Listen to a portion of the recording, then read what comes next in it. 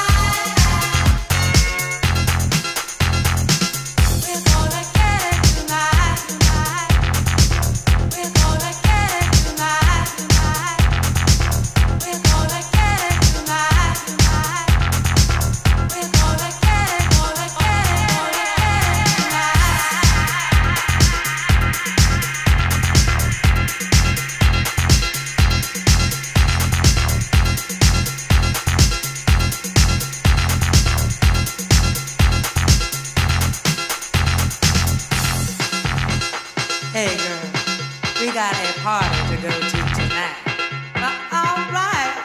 I've been saving up all day just for this.